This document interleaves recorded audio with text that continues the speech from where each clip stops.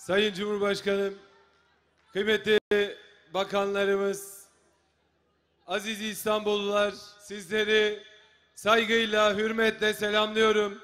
Hepiniz hoş geldiniz, şeref verdiniz, safalar getirdiniz. Bugün burada Zeytinburnu'nda çok büyük bir heyecan var, coşku var, mutluluk var.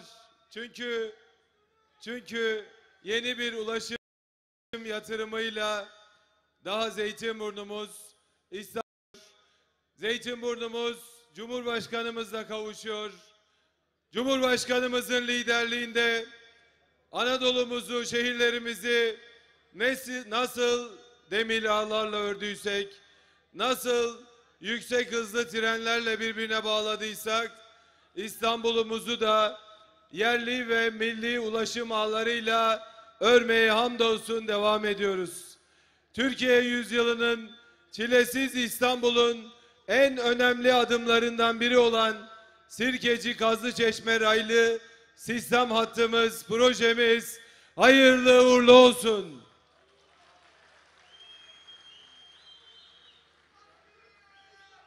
Sayın Cumhurbaşkanım, kıymetli hemşerilerim, açıklandığımız ilk günden beri İstanbul'umuzun yollarında, hanelerinde, dükkanlarındayız. İstanbul'umuzun 571 yıllık şanlı mazisi ve onuru maalesef bilmez tarafından heba edilmektedir.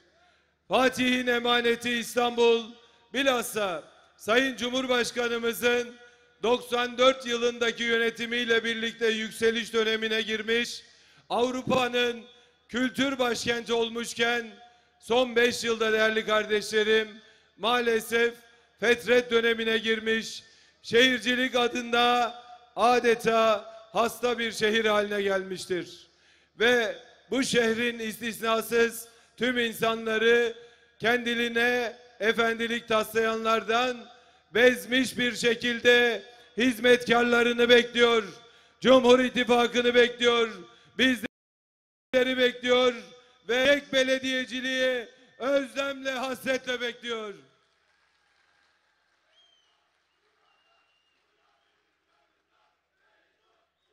Çünkü çünkü CHP'li mevcut yönetiminle işte İstanbul halkı arasında kan uyuşmazlığı vardır. Çünkü bunlar bu milletin kadim değerlerine değerli kardeşlerim yabancıdırlar. Dün ayın açılış törenine resmi davetiyle davet edilmelerine karşın telefonla davet edilmemesi üzerinden mazeret ve polemik üretenler şimdi de İstanbul'da kolay ulaşıma yönelik bir programa davet üzerinden yeni bir kriz üretmeye girişmektedirler. Bir yılının bir yılının 288 saatini trafikte geçen bu millete dönüp bakmadılar. Aylarını, yıllarını bu şehrin dışında geçirdiler. Ömrünün üç buçuk yılını trafik çilesiyle heba edilen bu milletin acımadılar. Haykırışlarına kulak vermediler. Milletimiz bu beceriksizliklere karşı İstanbul'un tüm sokaklarında şunu söylüyor. Onlar susacak, İstanbul konuşacak. Artık sözde mühürde bizim. Artık vakit İstanbul vakti diyor.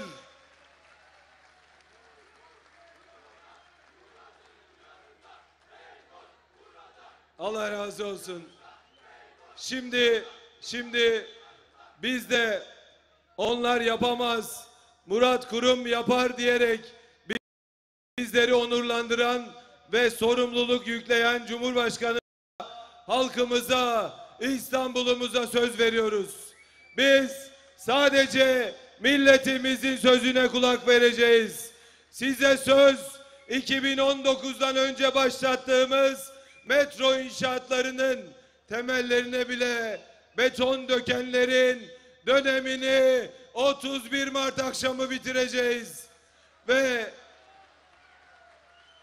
ve verdikleri sözlerin hiçbirini yerine getirmeyenlerden bu şehrin kayıp yıllarının hesabını tek tek soracağız.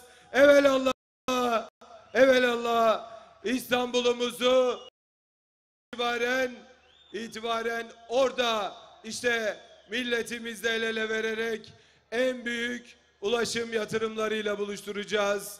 Trafik çilesinden bezmiş bu güzel milleti İstanbul'umuzu çilesiz İstanbul'la inşallah buluşturacağız. Aziz İstanbullular, yanında gururla durduğumuz bu eserleri yapmak için işte gece gündüz çalıştık. Bu eserleri yapmak her baba yiğidin harcı değildir. Hele hele temelsiz o polemikler üretenleri elinin tersiyle gündemin dışına itenlerin kendisi burada olup kendisi burada olup ruhu dışarıda olanların hiç harcı değildir.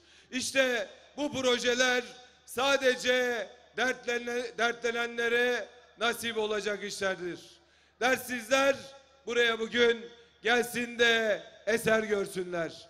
Gamsızlar gelsin de hizmet nasıl yapılırmış, hizmet sevdası nasılmış gelip burada görsünler. Biz biliriz ki dertlenince dağlar önümüze serilir. Anadolu'yu demir ağlarla öreriz. Biz biliriz ki dertlenince zorlar kolay olur. İstanbul'u metro ağlarıyla öreriz. Yiğitlerin alın teriyle işte bu eserler bir bir yükselir. Yiğitler emek verir, işte bu hizmetler gelir. Yiğitler çabalar, işte bu aziz milletin takdirine mazhar olur. Ne mutlu ki bu yiğitlere, ne mutlu güzel adamlara, ne mutlu eser adamlarına diyorum. Ve inşallah değerli kardeşlerim biz de 1 Nisan'dan sonra hedeflerimize şuurla aynı dertle koşacağız. Ne yapıyorsak İstanbul'un kadınlarıyla, gençleriyle birlikte yapacağız. Bugün bu alanı dolduran siz değerli kardeşlerimizle İstanbul'umuzla birlikte yapacağız. Ve inşallah 5 yıldır ehliyetsizliğin, liyakatsizliğin pençesinde kıvranan İstanbul'umuzu gerçek belediyeciliğe hep birlikte kavuşturacağız.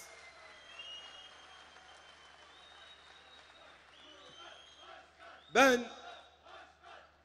ben bu duygularla Türkiye'nin ulaştırma vizyonunu çizen ve bugün 70. yaşına giren ilk Zili annemizin doğurmuş dediği milletin lideri, ümmetin lideri Sayın Cumhurbaşkanımıza sonsuz şükranlarımı sunuyorum.